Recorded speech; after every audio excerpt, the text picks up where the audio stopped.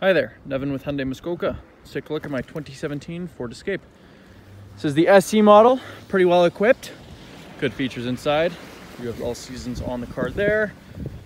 Trek to the back here.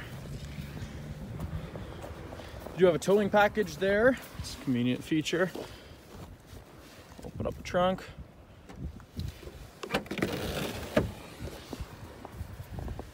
Great storage space back here. You have a little privacy cover there also that you uh, you can fold back to keep goods kind of hidden. Close up the hatch. Just take a quick look inside.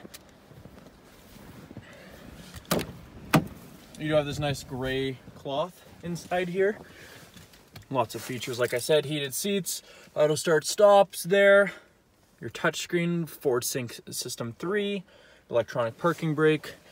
There's the mileage, light controls, that sort of thing. So all in all, it's in great shape. Good history on it. With very, very, very incentivizing features. Again, this is Nevin with Hyundai of Muskoka.